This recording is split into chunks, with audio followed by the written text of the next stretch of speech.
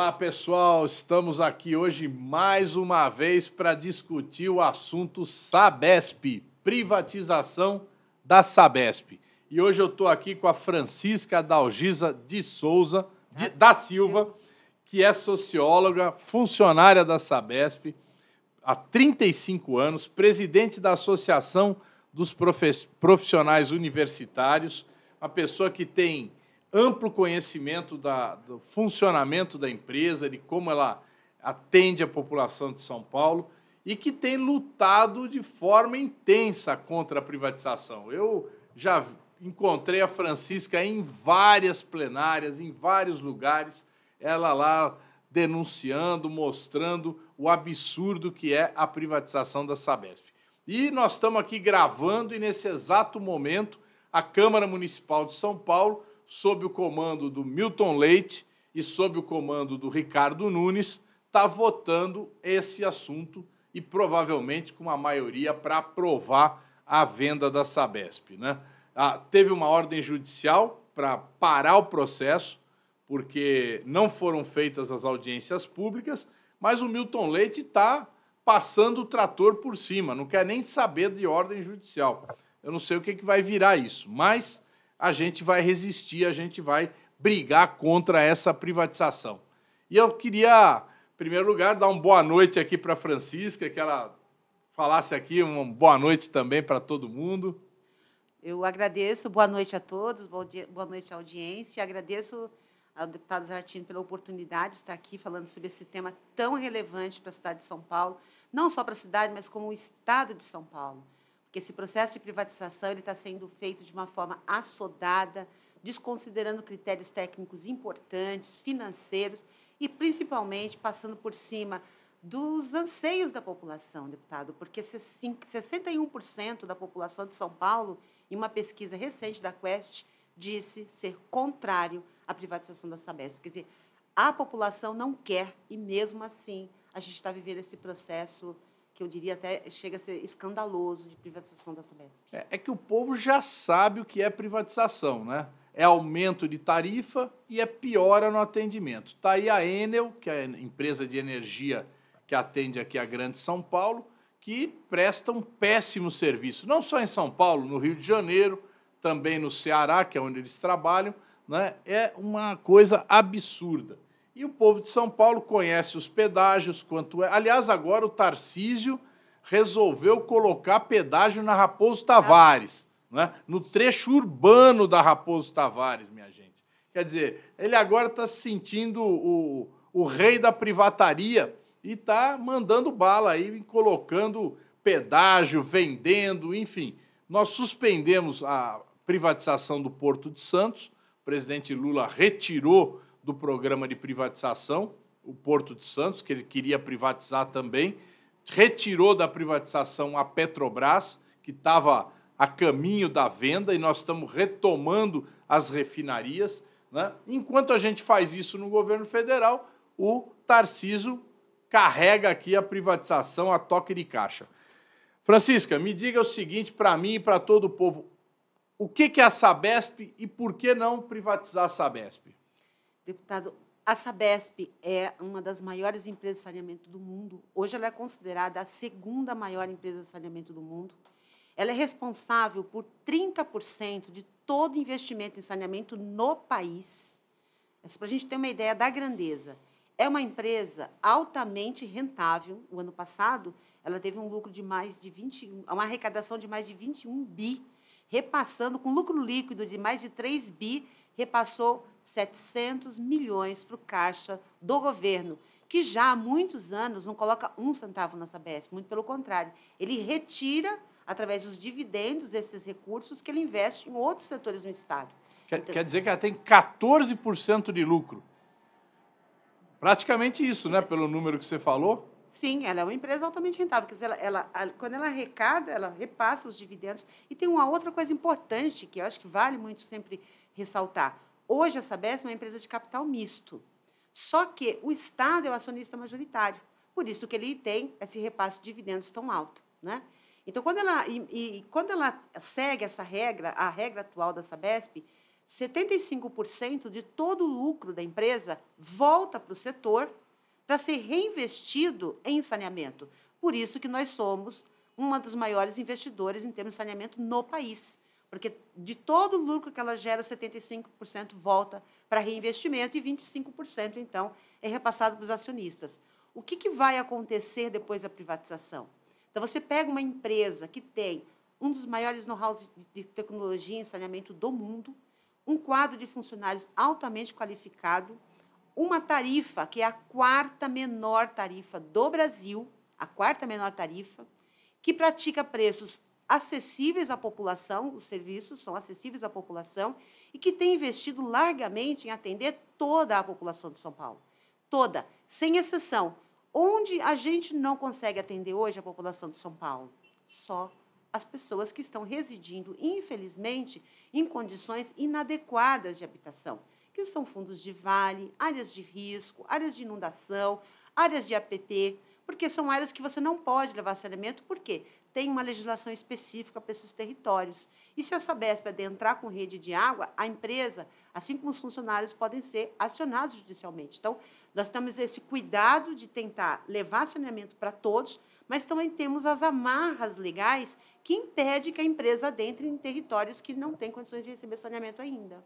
Quantos por cento da população da área, são 375 municípios no estado de São Paulo, que são atendidos pela Sabesp, quantos por cento da população é atendida em água e esgoto nesses 375 municípios? Olha, dos 370 a gente tem que fazer um recorte. O interior ele evoluiu mais rápido. Hoje nós temos cerca de 300 municípios que a gente já disse que são 300%. O que é 300%? É 100% de água distribuída, 100% de esgoto coletado e 100% de esgoto tratado. Isso já acontece em 300 municípios. Caramba! Né? Então, nós temos, aí a região metropolitana ela entra numa outra configuração em função do tipo de ocupação do território, como se deu o processo de expansão territorial aqui na região metropolitana, que gerou muitos assentamentos precários, muitas favelas, como é denominado hoje pelo IBGE. Então, essas áreas é que acabam não sendo atendidas. Mas hoje a Sabesp ela pode dizer que ela está com 98% de distribuição de água, 92% de coleta dos esgotos e, infelizmente, ainda chegamos a 76% dos esgotos tratados. Mas aí tem uma explicação técnica para ser dada. Por que, que nós não tratamos ainda o mesmo coeficiente de água distribu de, de rede, né, de esgoto gerado e tratado? Eu vou dar essa explicação. Explica para nós aí. Nós trabalhamos com dois conceitos: um conceito de cobertura e de atendimento. Então, principalmente o esgoto, a Sabesp leva essa rede de esgoto aos imóveis, isso é cobertura. Só que os moradores não se conectam a essas redes porque eles não querem pagar pelo serviço. Então, eles optam, mesmo tendo a rede coletora na porta, eles optam por não pagar, não se conectar à rede, para eles não terem que pagar essa taxa. Ou imóveis que têm problema de, de altitude, o, o, declive no terreno. Então, isso a gente chama de soleira negativa. O imóvel está mais baixo do que a rede de esgoto da Sabesp, que são essas áreas que são muito rebaixadas. Aí não tem como ele projetar o esgoto para chegar na rede. Uhum. Então, mas rede nós já temos espalhadas pelo, por 92% do território paulista, do território já tem rede coletora de esgoto. O que a gente precisa hoje, que é o que a Sabesp vem fazendo ao longo dos anos, é incentivar a população a se conectar.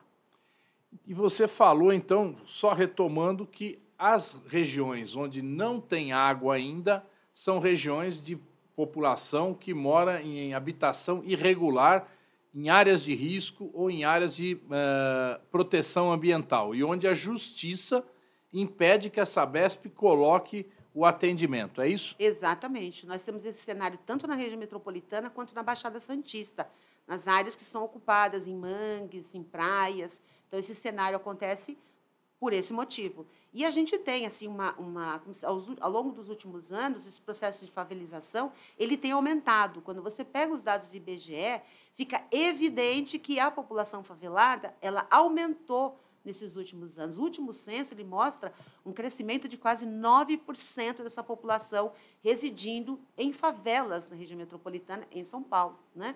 Então, a gente tem uma característica muito específica desses assentamentos. Né?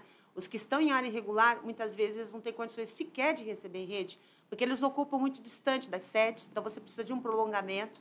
E para você levar essa água, você precisa de autorização dos órgãos que fazem a fiscalização, como a CETESB, a Prefeitura de São Paulo, ou a Prefeitura dos municípios operados, eles precisam autorizar a Sabesp a entrar. Então, a nossa dificuldade ela para aí, no tipo de ocupação, no tipo de legislação que, que rege esse território e na disposição das prefeituras autorizarem a Sabesp a entrar.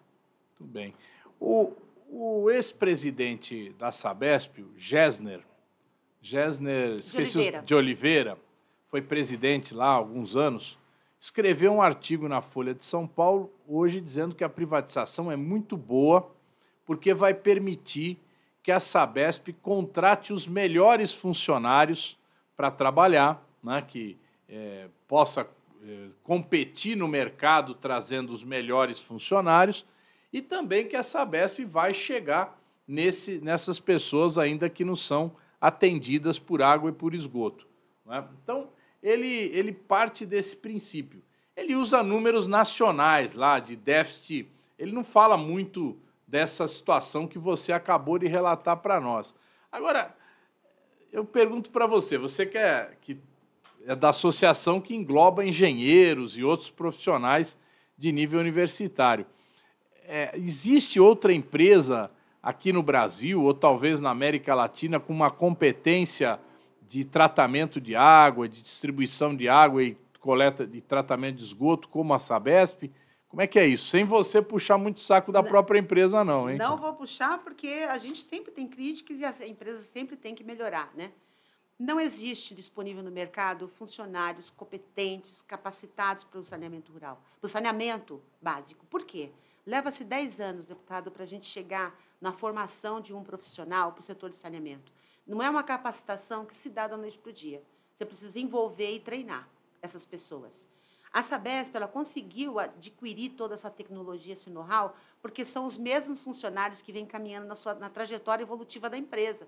Então, nós estávamos lá em 1973, Muitos entraram em 1980, 1990, e a gente veio crescendo com a empresa, entendendo, dialogando com a sociedade, entendendo as demandas da sociedade e crescendo junto com a sociedade. E nos obrigando, porque o corpo técnico da Sabesp e a forma como ela é gerida hoje, ela obriga que essa, que essa força de trabalho, que essa, esses trabalhadores se capacitem para levar a melhor tecnologia, o melhor serviço para a população. Então, não há essa disponibilidade. A Sabesp é a maior da América Latina. Não tem na América Latina nenhuma empresa com know-how que a Sabesp tem. E uma outra característica muito interessante da empresa são os nossos sistemas. Nós temos sistemas como a ET Barueri, o sistema ESE, que é o sistema que, é, que vem do Cantareira, que distribui água para São Paulo, que são os únicos no mundo. Você não tem duas estações elevatórias a Santa Inês no mundo, que reverte 27 metros cúbicos por segundo para atender 90, 9 milhões de pessoas. Só existe uma, a ESE. Então, são funcionários que precisam estar ali, que ao longo do tempo vão ganhando, aspas, um macete de como fazer, como calibrar funcionamento de bomba. Nós temos quase todos os nossos grandes sistemas, eles têm ali um, um suporte técnico, manutenção preventiva, né, para evitar que eles parem de funcionar. Qual é a nossa preocupação? Com a privatização, essa narrativa do Gessner, né, que ele diz, olha, vamos abrir concorrência, nós temos uma outra preocupação. Hoje, a Sabesp, por ser pública, ela trabalha com licitação. O que é apontado pelo governador como entrave, para nós é uma vantagem, porque nós colocamos editais públicos onde a gente trabalha com técnica e preço. Então, a gente escolhe o melhor técnica e o melhor preço. Com a privatização da Sabesp, nós corremos o risco de ter um cartel nacional das maiores empresas privadas que vão ditar as regras de mercado. Hoje, a Sabesp é uma referência. Em tecnologia, ela é uma referência para cima. Ela puxa o saneamento em termos tecnológicos para cima, em desenvolvimento tecnológico, e ela é uma referência em pressionar a tarifa para baixo. Por quê? A gente se desenvolve, mas a gente não aumenta a tarifa. Por quê? Porque todo o ganho de eficiência da Sabesp quando nós reduzimos perdas, quando nós investimos com, com tecnologia de qualidade, redução de custos, produto químico, melhoria dos mananciais, como aconteceu recentemente com o Rio Pinheiros, nós reduzimos, reduzimos de operação. Essa redução de custo na operação, ela é repassada para os clientes. Por isso que nós não temos, quando a gente se desenvolve, a gente não obrigatoriamente tem que subir tarifa, ao contrário. Quanto mais ela se desenvolve, mais ela repassa esses, essa, essa economia para tarifa. Agora, tem um problema. Na privatização, eles estão prevendo que o ganho de eficiência, 100% do ganho de eficiência, até 2030, vai ficar retido para os acionistas. A população não vai ter mais esse benefício. Então, se você reduzir custos de investimento em saneamento, no tratamento, nas perdas, no consumo de energia elétrica, nada disso vai voltar para a tarifa. Vai para o caixa daquele que comprar as ações da Sabesp. Então, a população vai patrocinar o mercado. A população vai patrocinar aquele que comprar a Sabesp. Isso aí. Olha, eu me lembro, Francisca, quando a Eletropaulo foi privatizada, quem comprou foram os americanos. Foi a AES. A AES é uma empresa americana. American Energy, sei lá, não me lembro o que quer dizer exatamente. Aí formou-se a AES Eletropaulo. E os americanos vieram, formaram uma diretoria aqui e mudaram, mandaram embora praticamente todas as pessoas que tinham mais conhecimento técnico, que ganhavam mais, né? E aí eles começaram a ter muitos problemas, porque, enfim, não conheciam a realidade brasileira, não entendiam como as coisas funcionavam aqui e passou-se a ter crises e mais crises de relacionamento com a população daqui da cidade de São Paulo, da Grande São Paulo. Aí os americanos tiveram que recuar, recontratar vários funcionários para restabelecer esse relacionamento com a população. A Sabesp é conhecida por ter uma ação comunitária muito forte, né? por ter pessoas que estão nas comunidades resolvendo problemas, atendendo situações, tentando achar soluções lá de atendimento em lugares que são completamente fora do padrão. Né?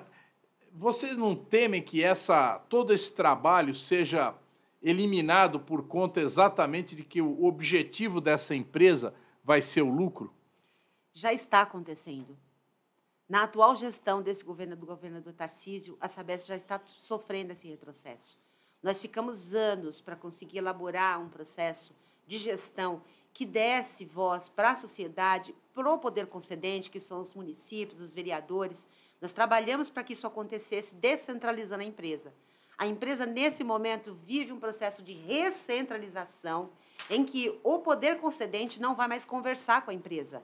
O poder concedente, a partir da criação da URAI, a partir da privatização, vai dialogar com o conselho da URAI. Não vai mais conversar com a Sabesp, o prefeito, o vereador, que está acostumado a chamar o gerente pelo telefone e falar: Fulano, vem aqui, um vazamento, atende a minha família ali, atende um problema com lá, que é o que acontece principalmente no interior. Isso vai deixar de acontecer, porque eles estão tirando essa potência. É que para mim é uma potência Uhum. É uma uhum. potência de articulação, é uma potência de mobilização, de você trazer a sociedade para dentro da empresa. Eles estão acabando, na verdade, já acabaram, porque já centralizaram todo o processo de comunicação da empresa.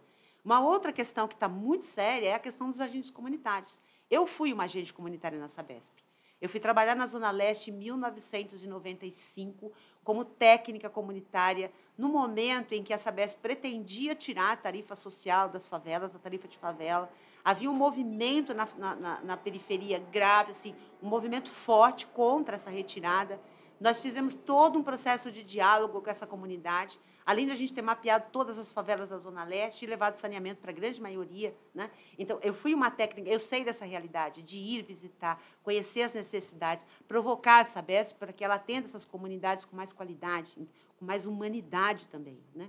Então, eu transitei por esse viés. Hoje, eu estou numa área mais burocrática da empresa, que eu trabalho com planejamento, mas não perdi em momento algum, esse contato com a sociedade, porque eu entendo que é essencial. Cada rua que você passa, eu diria, no município, na região metropolitana, cada esquina tem uma rede de água da Sabesp. Onde você pisa em São Paulo, tem rede de água da Sabesp. E o melhor fiscal para os serviços da Sabesp é a população. Por isso que eu acredito que a manutenção desse diálogo tem que ser mantido. Mas o que está acontecendo hoje na gestão do Tarcísio é o contrário. Eles estão retirando a nossa capacidade de diálogo com a sociedade e principalmente com o poder concedente. É, o objetivo da Sabesp era que as pessoas chegassem a ter água, né? Então, esse era o objetivo, essa era a missão, né? Que todo mundo tivesse água e esgoto.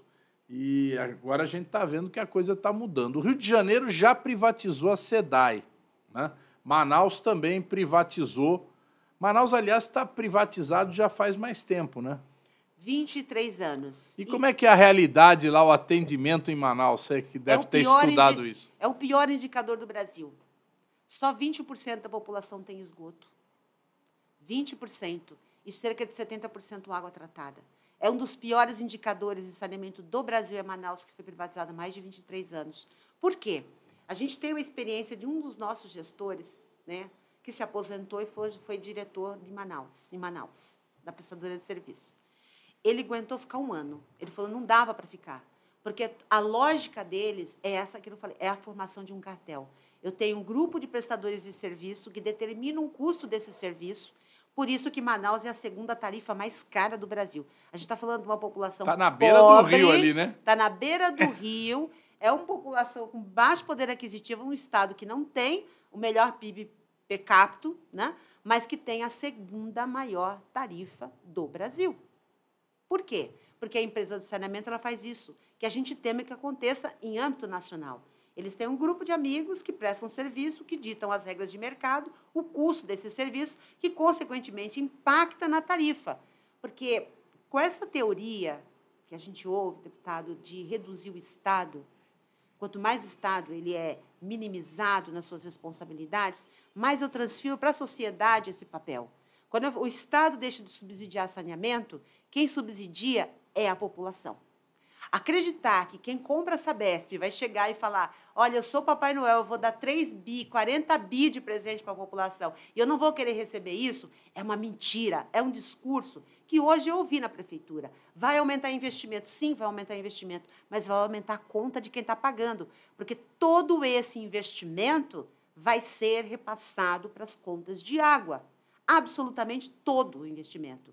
Então, quando você, o governador, tira sai do, da, da gestão de uma infraestrutura básica essencial à vida, ele transfere para a população a responsabilidade de investimento. E com uma agravante, a fiscalização desse serviço depois, a gente não pode garantir que seja feita com a mesma eficiência. Quem vai fiscalizar, hein? Arcesp. Arcesp. E tem mais dois. Só, só para o nosso povo saber aqui, quem é a Arcesp? O que é, é a Arcesp? é a agência reguladora de serviços do Estado de São Paulo. Regula a, a gás e também regula a questão da energia e água. E os pedágios? Os pedágios têm uma outra agência. É a Artesp, né? Artesp. Ah, então tem uma só para esses serviços? Só, que é a Arcesp. A Arcesp, agora, nessa nova modelagem que está sendo pensada na privatização, a Arcesp vai perder força, porque está prevista a, a figura de dois agentes verificadores independentes esses agentes verificadores é que vão verificar se os investimentos estão sendo realizados, né? Só que quem vai contratar esses agentes verificadores? A Sabesp. Quer dizer, a raposa vai tomar conta do, do galinheiro. galinheiro. Incrível, aí, você, aí você vê assim, eu, eu tive a oportunidade de conversar com a secretária Natália, ela falou, mas nós estamos tomando todo o cuidado para que a gente é, não, não aconteça o mesmo que aconteceu no Rio. Porque ela tem consciência. No Rio de Janeiro, as tarifas explodiram depois da privatização. A qualidade do serviço despencou. Quanto tempo faz que privatizou o Rio? Faz o quê? Dois anos? Dois anos. E já explodiu? Já explodiu. Já explodiu a tarifa lá. E aí eles estão pedindo ainda recomposição tarifária porque falaram que foram enganados no processo de privatização. Eles querem aumentar mais um pouquinho. Então a secretária, não, mas eu não quero que aconteça no São Paulo o que aconteceu no Rio. Falei, olha, secretária, é difícil, porque quando você coloca o capital, o mercado para tomar conta, né? e o mercado e a gestão é feita por pessoas, nós, vamos, nós corremos o risco de ter aquilo que acontece no país inteiro. As agências serem cooptadas pelo mercado, que coloca os seus representantes dentro das agências, e essas agências, então, passam a, ter, a servir os interesses do mercado não da população. Então, isso não é um assunto assim, olha, vai acontecer, com a Arcesp vai ser o único caso. Não, isso acontece. E existem vários estudos. Claro. Na grande maioria Nós estamos lá em agências. Brasília enfrentando problemas com a ANEL, Agência Nacional de Energia Elétrica, que não fiscaliza as empresas, né? São problemas em vários estados, viu? E essa Arcesp, ainda mais com essa assessoria aí de. Como é que chama a empresa que vai fazer? São agentes verificadores. Agentes verificadores, isso? Que, que serão contratados pelo, pela empresa, pela, pela Sabesp. Ou seja, quem contrata dá as ordens, não é assim a lógica? Claro. E como é que eles vão fazer essa venda da Sabesp? Como é que está previsto isso? Eles vão fazer um leilão? Eles vão lançar ações? O que está. Eles vão lançar as ações no mercado em duas etapas. Inclusive, o mercado está reclamando, porque corre o risco de, na segunda etapa, haver uma desvalorização das ações da empresa, para que a empresa saia mais barata para quem comprar. Então, eles vão abrir esse mercado de capitais, vão abrir as ações do mercado em duas etapas. E aí, a segunda etapa, o maior lance, mas aí é que está a questão. Se eu faço em duas etapas e as ações caem, o maior lance já vai comprar uma empresa com as ações é, em baixa. Então, ele já vai ganhar de cara na aquisição, o que pode vir a judicializar, ser judicializado o processo depois. Então, eles vão lançar, vai ser uma, uma venda aberta de mercado, mas com essa condição, dizer, em duas o, etapas. O, o governo vai vender uma parte das suas ações, né, transferindo a maioria das ações para uma empresa ou para o capital privado. O capital privado. Hoje nós temos, o governo tem 51% das ações. Ele está abrindo mão de 21%. Ele vai ficar com 30%. 30%. Mas presta atenção, deputado, eles mexeram no estatuto da Sabesp. Nós tínhamos 11 conselheiros. Agora nós teremos nove conselheiros, composto três do Estado, três conselheiros do mercado e três conselheiros que serão indicados pelo acionista majoritário, aí aspas, que não vai ser. Mesmo o Estado sendo acionista com 30% das ações, quem vai indicar três conselheiros é quem ficar com esse bloco de ações que vão ser vendidas agora. Então você. Mas vai ser feito um leilão lá na Bolsa de Valores, onde qualquer um, eu, por exemplo, se eu quiser comprar uma ação da Sabesp, eu vou poder comprar? Pode comprar hoje. Eu recomendo. Não, não, lá no dia. Não.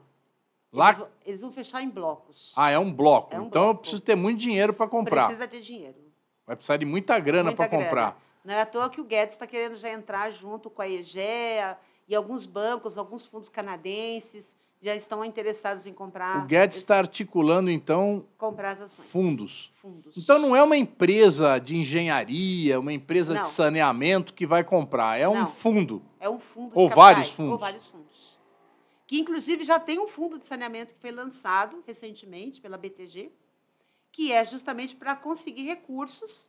Segundo eles, é um fundo de capital. Eles estão vendendo as ações, você vai lá e compra uma ação da, da empresa do Rio, de São Paulo. Então já tem um fundo formado para isso pela BTG. E esse fundo vai entrar no leilão. Com certeza. Comprando, né? Junto. Quer dizer que o, o, o, essa figura aqui, euzinho aqui, não posso não. comprar uma ação. Não. É na Eletrobras, na Eletrobras eu comprei umas ações, viu? Porque eu podia usar o fundo de garantia para comprar ações, lembra? Sim. Eu comprei, eu peguei um pouquinho lá do meu fundo, comprei porque eu falei, não, eu quero eu quero. Um dia eu vou na Assembleia dos Acionistas lá dar a minha opinião. Né? Ainda não tive tempo de ir, mas está nos meus planos ir lá na Assembleia de Acionistas da Eletrobras. Mas aqui a Sabesp, então, o governador não quer dar essa colher de chá, não, nem ser... para quem tem fundo de garantia poder não. comprar ali um pouquinho de ação. Vai ser um bloco, serão um bloco essas ações, e vai ter uma acionista de referência, assim que eles estão chamando.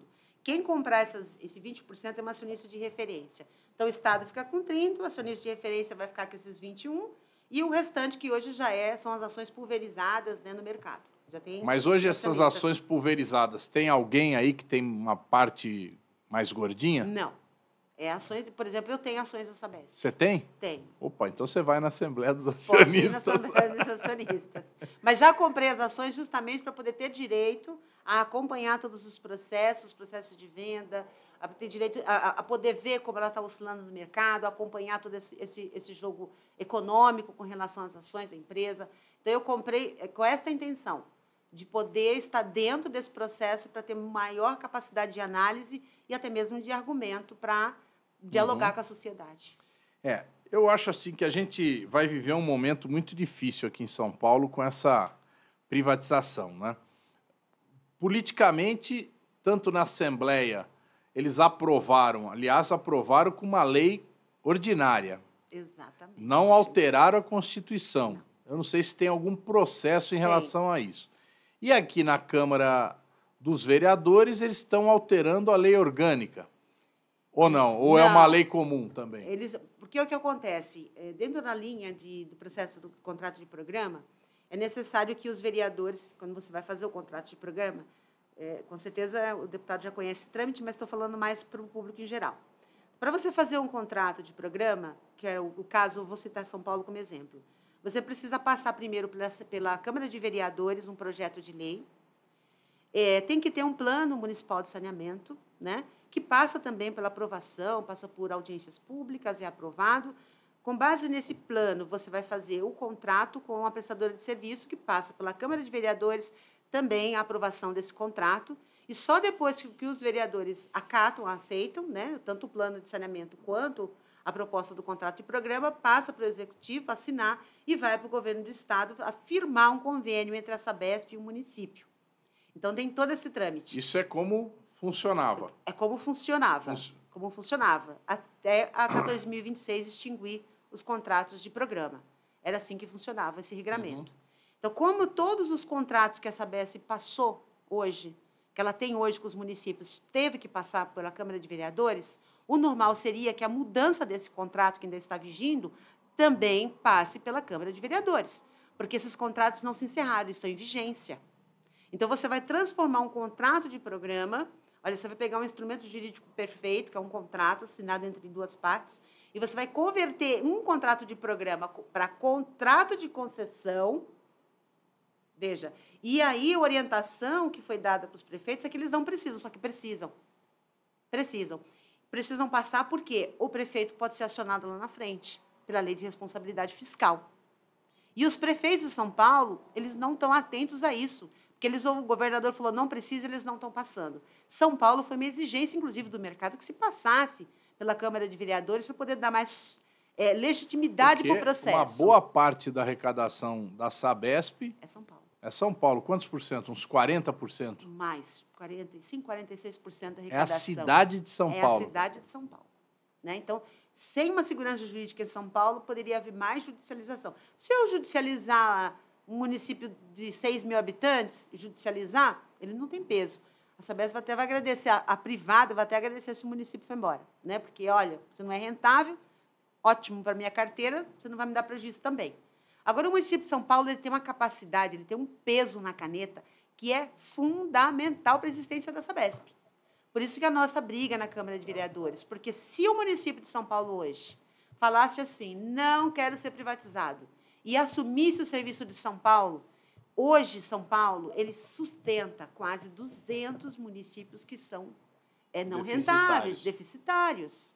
Então, se todo esse recurso que sai de São Paulo ficasse só dentro de São Paulo, poderia reduzir tarifa amanhã, poderia melhorar os investimentos, poderia pegar a rentabilidade dessa empresa e sanear todo o estado de São Paulo, mas não sanear, poderia pegar todo esse dinheiro transformar ele em reurbanização, melhorar a qualidade de vida das pessoas, reduzir tarifa, aumentar a tarifa social e, assim mesmo, essa companhia de saneamento municipal de São Paulo seria rentável.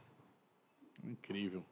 Incrível. Bom, mas juridicamente ainda se pensa aí um movimento contra a privatização, está pensando, está discutindo é, é, tomar outras iniciativas no campo do judiciário? Como é que vocês estão vendo isso? Olha, nós temos diversas ações mas a gente sente assim que o, o judiciário, com exceção da juíza, que eu, não se me engano é Celina, que deu esse parecer contrário à votação da Câmara de, de Vereadores, nosso judiciário paulista pegou as nossas ações, que são dezenas, e simplesmente se acomodou. Não deram andamento a nenhuma delas. Né? Porque nós entramos com uma ação contra de inconstitucionalidade pelo fato da Constituição Paulista ter sido alterada por uma lei né, ordinária. Né? Nós entramos com uma ação no Ministério Público, no governo federal, no STF.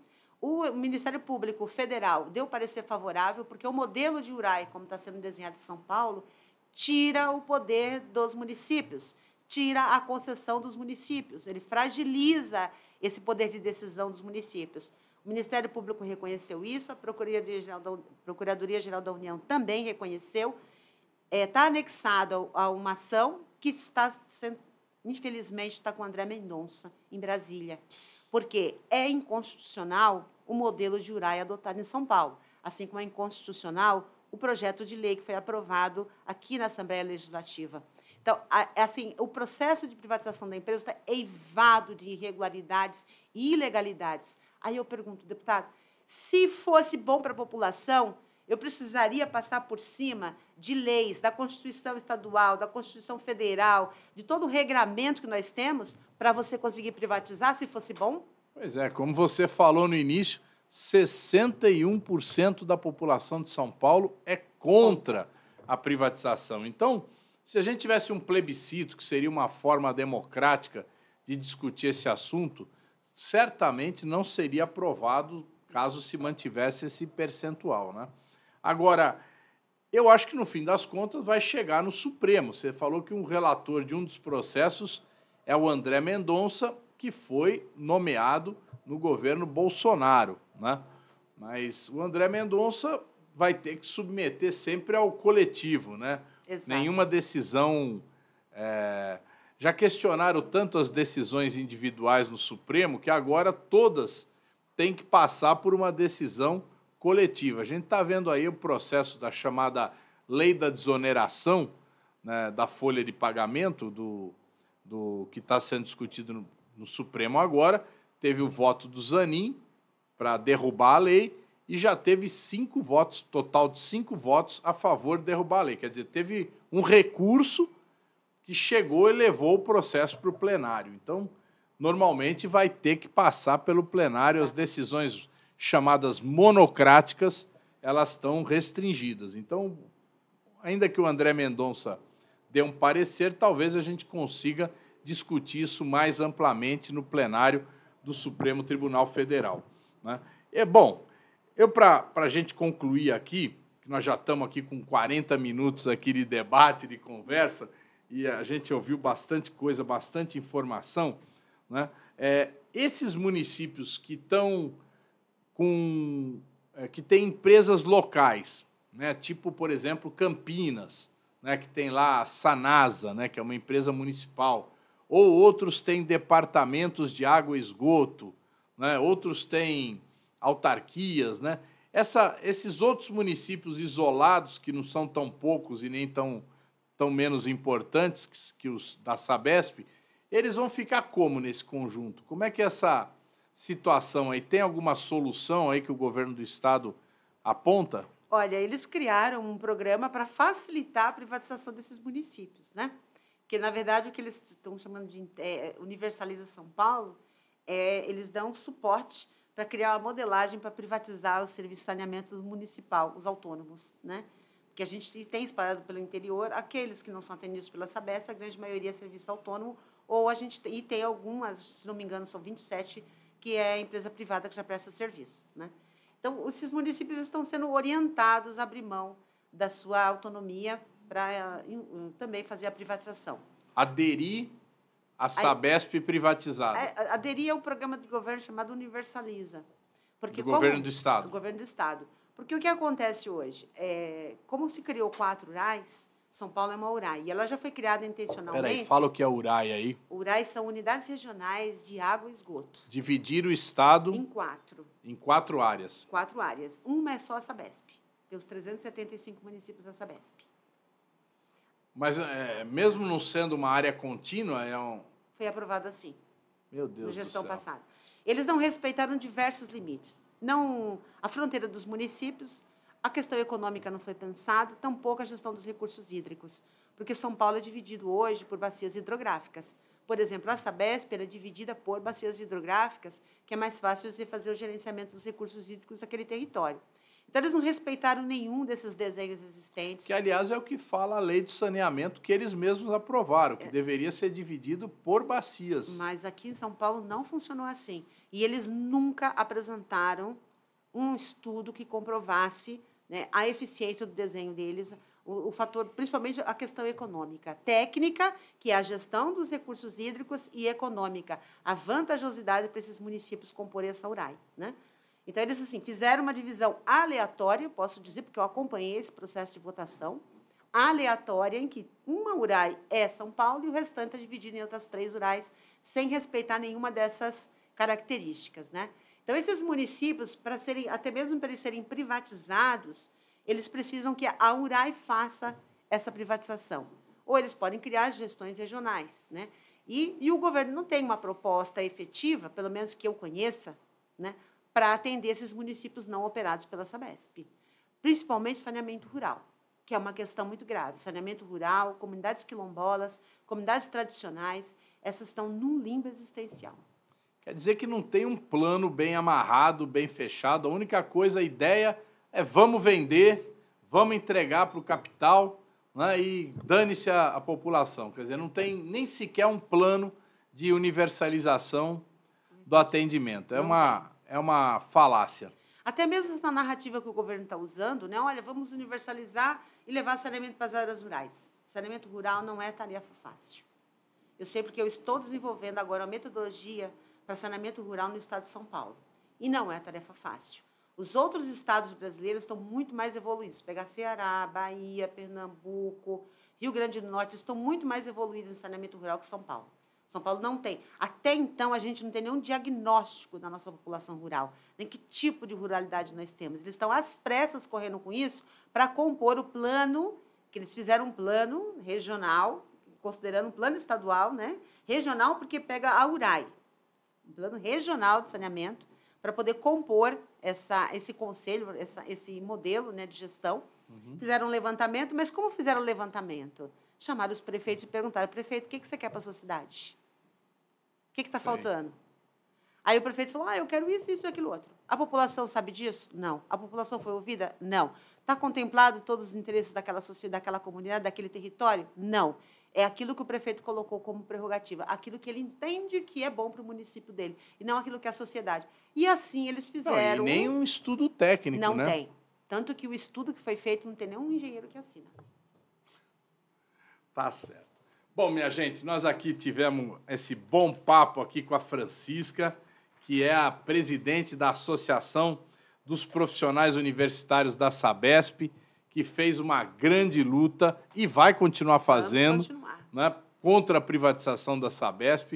Essa luta não terminou nem com a votação na Assembleia, nem com a votação na Câmara Municipal de São Paulo. E vamos continuar batalhando, porque tem muito ainda para conquistar. Eu acho assim, podemos, podemos ter uma grande reversão de expectativas aí se o Boulos ganhar essa eleição. Estamos né? torcendo e trabalhando para isso. Olha, é, assim, porque... a, sociedade. Por, desculpe interromper. Não, fala, pelo amor de Deus. Até mesmo muitas pessoas que eu conheço que são de direita falaram: vou votar no Boulos porque eu sou contra a privatização da Sabesp. Então, mesmo pessoas, assim, são muitas, não estou falando porque eu tenho um nível de relacionamento muito grande. Né? Então, assim, a população de São Paulo que é contra, eles querem votar no Boulos para evitar minimizar os impactos. Porque, deputado, no modelo de gestão que está sendo pensado, se você tiver um, um, um prefeito de direita em São Paulo, porque ele vai ter cerca de 16% do peso nessa URAI, no Conselho da, da Gestão das URAIs. Mas o governo do Estado, eles, os municípios menores não vão ter peso nenhum. O município como Santo André, São Caetano, Guarulhos, vai ter 0,4%, 0,6% de peso, porque a maioria do peso dos votos vai estar centralizada no Estado com 39% e no município de São Paulo. Então, se você tiver um prefeito de direito em São Paulo, os outros 374 municípios podem estar numa grande roubada porque vai ser gerido de acordo com os interesses do Estado e do município de São Paulo. Então, é muito importante que a população se conscientize disso. Gente, vai para a rua, vamos fazer campanha. A gente precisa ter o Boulos sentadinho na cadeira de prefeito para a gente equilibrar as forças nesse Estado. Por incrível que pareça, a eleição do Boulos diz respeito ao equilíbrio de forças no Estado de São Paulo. Exatamente. Como foi a eleição do Lula, que parou a privatização da Petrobras, né? que está revertendo a capacidade da Petrobras fazer a gestão do petróleo e do gás no Brasil, né? e como a gente está enfrentando em várias outras situações. Então, a coisa vai pela política. Francisca, muito obrigado. Né? Quiser encerrar, falar alguma coisa no fim, tá. Novamente, eu agradeço ao convite, deputado. Realmente é um assunto muito importante que, para mim, tem um peso afetivo, emocional, porque eu sei que saneamento diz respeito à vida e à dignidade das pessoas. E água não é mercadoria. Água é vida e toda a população, de forma indiscriminada, com ou não capacidade de pagamento, morando em área regularizada ou não, tem que ter acesso à vida, à qualidade de vida, ao saneamento. E a privatização vai privar as pessoas desses acessos, porque elas não vão ter condições de pagar. Então, isso é uma luta que diz respeito à saúde, à economia e à dignidade do cidadão paulistano. Então, é uma luta nossa. Obrigado, Francisca. Valeu. Eu que agradeço, deputado. Vamos junto.